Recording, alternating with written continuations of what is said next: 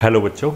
इस वीडियो में हम एक इंपॉर्टेंट कॉन्सेप्ट डिस्कस करेंगे, जिसमें इनक्वालिटी के अंदर एक पर्टिकुलर पैटर्न दे रखा होगा that is derivative added linearly with the function और ये आई का काफ़ी फेवरेट टॉपिक है, और इससे कई बार तीन चार क्वेश्चन आ चुके हैं। अभी हम दो तीन क्वेश्चन लेंगे, जो आई एडवांस में ही पूछे जा चुके हैं। सेम कॉन्सेप्ट के बेसिस पे बस थोड़ा सा टफनेस लेवल लगातार इंक्रीज होता चला जाएगा। तो कॉन्सेप्ट क्या है? इफ़ कॉन्सेप्ट ठीक है? If function is added with its derivative ये ठीक है, इन इनक्वालिटी की बात करें। इन inequality linearly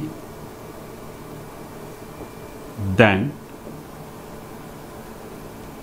we should think of linear, differential equation ठीक है लीनियर डिफरेंशियल इक्वेशन का फॉर्मेट है and hence integrating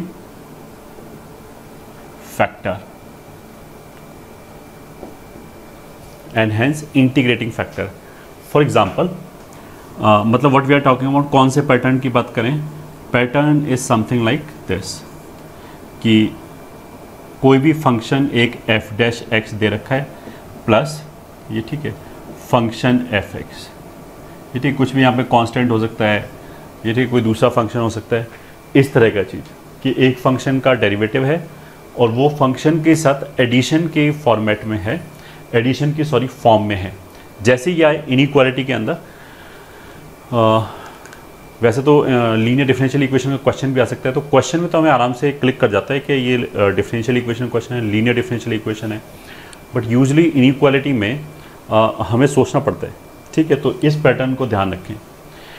अब आई आई का पुराना एक क्वेश्चन लेते हैं। Question one let P X is a differential differentiable function such that p dash x is greater than px for all x greater than 1 and p1 is equals to 0 then prove that px is greater than 0 for all x greater than 1 ये पुराने JEE का आया हुआ एक question है और ये तो हमने सब्जेक्टिव लिया है खैर काफ़ी पुराना क्वेश्चन है। बट ये इजी क्वेश्चन है, इसलिए हमने इसको सबसे पहले लिया है। माने ये क्वेश्चन आया। अब इसमें हमें पैटर्न क्या पहचाना है? वही।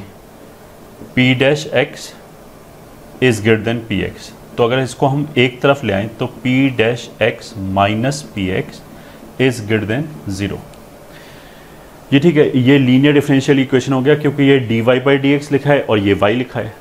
If you remember linear differential equation का पैटर्न कुछ ऐसे होता है D Y by D X plus P X into Y is equals to Q X और इसमें हम फिर इंटीग्रेटिंग फैक्टर से मल्टीप्लाई करते हैं। वो होता है P D X D Y by D X plus P into E raised power P D X into Y बराबर Q into E raised power P D X ये होता है। ऐसा करने से होता क्या है कि जो लेफ़्ट हैंड साइड है, वो परफेक्ट डेरिवेटिव बन जाता है। किस चीज़ का बन जाता है? D D X of Y into integrating factor ठीक है is equal to Q into E raised power P D X इसको यू कैन सी अगर इसको हम डिफ्रेंशिएट करेंगे तो वाई का डेरिवेटिव ये हो गया, दूसरा फ़ंक्शन एज इट इज़ फिर जब इसको डिफ्रेंशिएट करेंगे तो वाई एज इट इज़ हो गया ई e का डेरिवेटिव e और फिर चेन रूल से जब पावर को डिफ्रेंशिएट करेंगे तो वहाँ से ये पी आ जाएगा। ठीक है? अब इसमें सबसे पहले ये तो हमारे लिए y का काम कर रहा है और सॉरी ये y डैश का काम कर रहा है और y की जगह पे ये लिखा है, साथ में जो पी एक्स लिखा है, उसकी जगह पे माइनस वन लिखा है। अच्छा ये हमने अपने लेक्चर्स में वैसे बता रखा है कि बार बार हमें यहाँ तक करने की बजाय शॉर्टकट में सीधा यहाँ से यहाँ पे जंप करना चाहिए। जैसे हमें आइडेंटिफाई हो गया कि ये लीनियर डिफरेंशियल इक्वेशन है। डिफरेंशियल इक्वेशन की बात करें तो हमें क्या करना चाहिए? लेफ़्ट हैंड साइड को सीधा ऐसे लिखना चाहिए D D X of Y into integrating factor something like this we will do over here integrating factor से वैसे मल्टीप्लाई क्यों करते हैं? ताकि जो लेफ़्ट हैंड साइड है वो परफेक्ट डेरिवेटिव बन पाए। तो इसमें ये तो y का काम कर रहा है तो साथ में फ़ंक्शन क्या है? माइनस वन तो जो E raised power P D X है, उसमें p की जगह क्या रखेंगे हम? माइनस वन तो E raised power minus X हो गया, ठीक है? अब e का एक ब्यूटी क्या है कि E raised power anything will be positive तो अगर इसको, ये ठीक है, इसमें इंटीग्रेटिंग फैक्टर कितना है वैसे? E raised power minus one D X which is E raised power minus X ये इंटीग्रेटिंग फैक्टर है। तो अगर हमने इससे मल्टीप्लाई किया, चलो एक क्वेश्चन में करके दिखा देते हैं।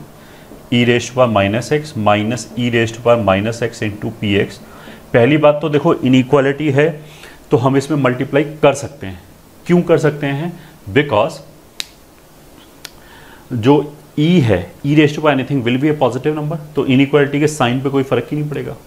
अच्छा ऐसे डिफरेंश मल्टीप्लाई करने से जो लेफ़्ट हैंड साइड है वो y इंटू इंटीग्रेटिंग फैक्टर और y का काम कौन कर रहा है यहाँ पे? Px तो यहाँ पे कौन आ जाएगा? Px into integrating factor is this is greater than zero ठीक है। अगेन एक इंपॉर्टेंट कॉन्सेप्ट क्या है कि इनक्वालिटी में हम देखो, दोनों तरफ़ डिफ्रेंशिएट नहीं कर सकते। इनडेफिनेट इंटीग्रेशन नहीं कर सकते, उसका कोई सेंस नहीं बनता। ये ठीक है डेफिनेट इंटीग्रेशन कर सकते हैं, बिल्कुल। उसको हम एरिया से एक्सप्लेन कर सकते हैं कि एल्जेब्रिक एरिया किसका ज़्यादा आ रहा है एंड हम मोनोटोनसिटी यूज़ कर सकते हैं इनक्वालिटी में से। ठीक है?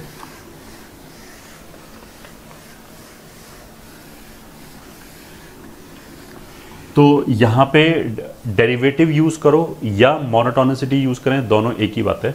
जैसे, अगर मैं इसको एक मिनट के लिए एफ़ एक्स बोल दूँ तो ये रिलेशन क्या दे रखा है? इसने बोला कि एफ़ डैश एक्स पॉजिटिव है। तो अगर हम मोनोटोनिसिटी यूज़ करें आई विल से कि इसका मतलब है कि एफ़ एक्स इंक्रीजिंग फ़ंक्शन है। ठीक है?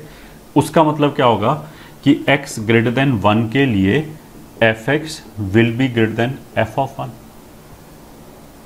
ठीक है? एफ़ एक्स किसको बोला है? इसको।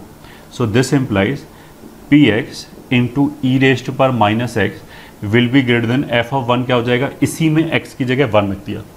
तो this will become P one into E raised power minus one E raised power minus one मतलब वन अपॉन ई अब पी वन की वैल्यू क्वेश्चन में यहाँ ज़ीरो दे रखा है।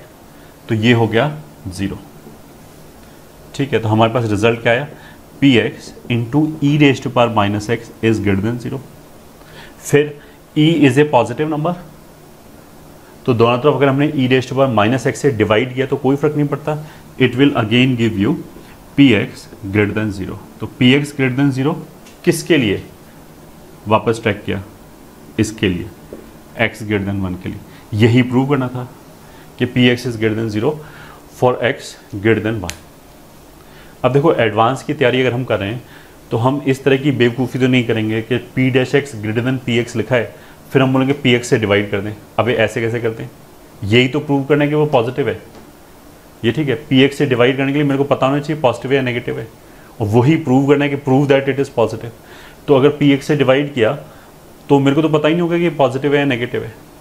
तो डायरेक्टली हम ऐसे डिवाइड करके आंसर नहीं ला सकते। फिर हम बोलेंगे, ये तो एल आ गया एंड दिस एंड दैट ठीक है तो I hope you have understood this concept this is very important concept इस पर कई बार क्वेश्चन पूछा जा चुका है। ठीक है, उनमें से एक क्वेश्चन तो ये था। और दूसरा क्वेश्चन हम लेते हैं।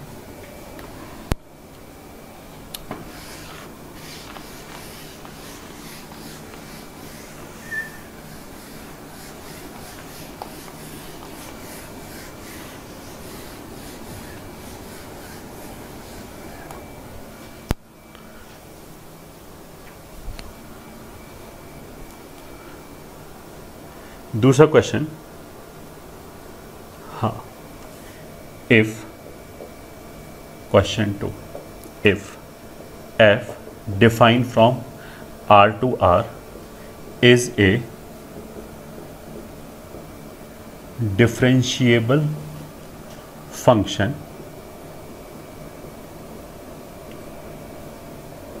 such that f dash x greater than 2fx for all x belonging to R. And f of 0 is equals to 1 then A option which says fx is greater than e raised to power 2x in 0 to infinity. B option f dash x less than e raised to power 2x in 0 to infinity C option fx is increasing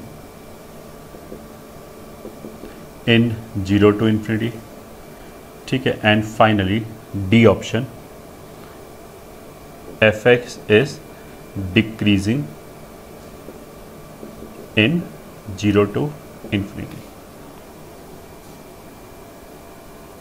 और ये 2017 का IIT advance का question है। ठीक है, ये तो मेरे पास लिखा हुआ था, इसलिए मैंने बता दिया। ठीक है, ये क्वेश्चन है। ठीक है इनक्वालिटी है, वापस दिस इज़ एन इनक्वालिटी और फिर वही पैटर्न है। एक फ़ंक्शन एफ़ एक्स लिखा हुआ है, और एफ़ डैश एक्स भी साथ में लिखा हुआ है। तो derivative added with the function linearly linearly का मतलब क्या है कि ऐसे नहीं कि एफ़ स्क्वायर एक्स आपने ऐड कर दिया। एफ़ एक्स है और साथ में कुछ हो सकता है। तो यहाँ से हम चालू करते हैं। एग्जैक्टली exactly वही चीज़ है।